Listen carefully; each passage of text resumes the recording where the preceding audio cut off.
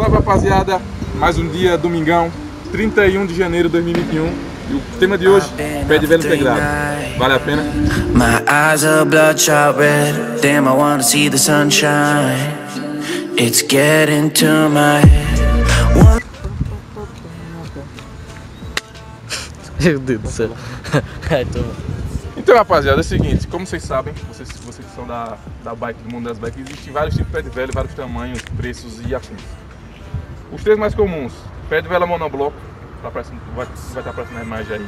Esse aí antigão, que o pessoal usava geralmente nas, nas BMX, lá na década de. Na, na década, no ano de 2000, 2001, por aí assim. O Octalink, a famosa chaveta, que é muito, que é muito popular por aí, tá aparecendo aí também. E o pé de vela semi-integrado e integrado, que no caso são os nossos. Mostra aí, por favor.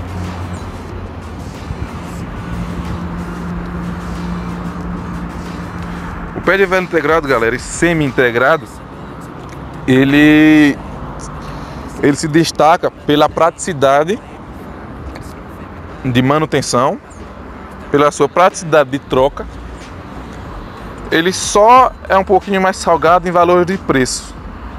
Mas isso a gente vai falar agora sobre custo-benefício, marcas e afins. Bom, seguinte, é, eu não vou falar do, do pé de vela monobloco, quase ninguém usa mais ele. Ele só vem em bases, em bases. Ele vem em bikes simples de, De entrada. de entrada e acho que esse não é o intuito do vídeo. Não. O intuito do vídeo aqui é falar sobre pé de vela semi-integrado integrado com custo-benefício bom. Vamos lá, o pé de vela Octalink, famoso chaveta. Pontos positivos. Um pé de vela barato. É um pé de vela que se você achar um bom conjunto, ele vai durar um bom tempo. Você cuidando dele, manutenção tudo certinho. Tem pé de vela de marca boa. Tem pé de vela de marca boa, tem pé de vela do Octalink Shimano, tem pé de vela de Octalink Ziran, por aí, por aí vai. Depende muito do seu bolso. O pé de vela integrado, esse que a gente usa, ele tem uma vantagem. Apesar dele ter um preço um pouco mais caro, em termos de duração e fácil manutenção, ele se destaca. É, Valores e links vão estar aí embaixo. Vai ter um link aí ou na descrição ou, no- ou nos comentários fixos. Depois a gente vê isso aí. Mas vai, vai ter o link da compra desse meu pé de vela que é um X-Time TSW. O braço dele é de 172.5 milímetros. Coroazinha de 32 dentes. BCD 104. Ou é 34 dentes, eu não sei. Assim, eu tô usando esse pé de vela agora porque foi o que deu. Eu tava usando o outro, só que o meu infelizmente quebrou. Passou três anos na minha mão, quebrou. Como eu uso a bike todo dia, eu não podia ficar de pé. Aí eu fiz o quê? Não, eu vou procurar um pé de vela que dure, tem um bom preço, é, resumindo, um bom custo-benefício. Esse aí, o link dele vai estar aí, vocês vão ver que ele é, ele é um pé de vela, não é tão caro. Ele, ele não é caro, ele é barato, entre aspas. E o custo-benefício dele é ótimo. É isso. O único, o único ponto negativo que você vai ter em um jogo desse são os, a folga nos rolamentos com o tempo, mas, mas é normal. Todo, toda coisa que utiliza rolamentos, com o tempo ele vai ap- apresentar folgas. E aí, galera, eu também tenho, eu também uso aqui um pé de vela integrado. Na verdade, foi que comecei usando o integrado, tá ligado? O William usava um, um chaveta. Disse, Não, William, bota, bota um integrado também, porque é melhor pra dar manutenção, como a gente anda direto, lama tal. Eu usava antes um pé de vela de chaveta, era da, da Trust branco, de cerâmica. Só que aconteceu o quê? Ele remoeu aqui, que aqui ele tinha um, um parafuso aqui. Ele, aconteceu o quê? Remoeu. Eu não consegui tirar. E também um.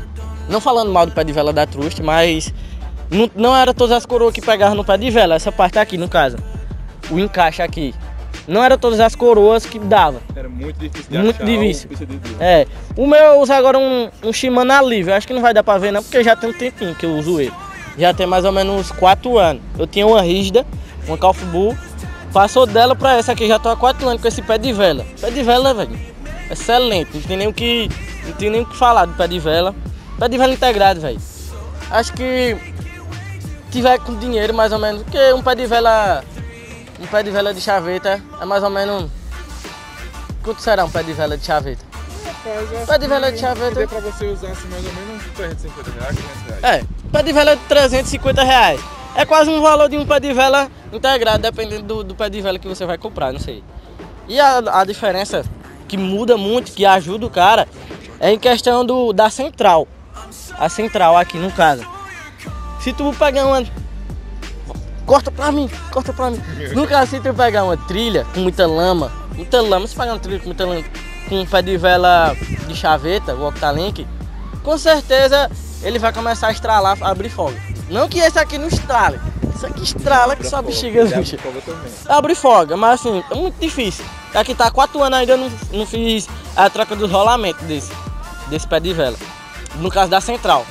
Só que, um exemplo, se, se der pau no, numa chaveta, tu vai ter que trocar a central inteira. Que praticamente não vende a central. Vende, só que é quase o valor de um pé de vela completo. E esse aqui nem se compara, é o valor, o benefício. Ou tu troca a central, ou tu troca os rolamentos. Aí fica o custo-benefício excelente.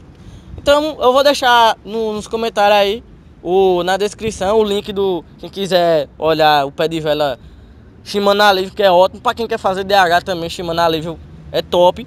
Ele pega aqui é, single, uma coroa só, ou três coroas. Esse meu pé de vela, ele era três coroas, e eu deixei ele só uma coroa.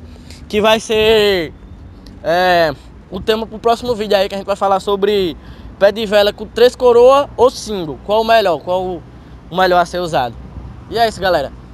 Curte, compartilha aí. E é nóis.